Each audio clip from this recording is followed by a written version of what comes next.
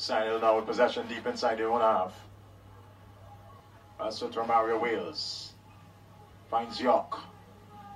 Back to Wales. Looking to get Fernandez going, but uh, York gets possession. And knocks it back to Romario Wales.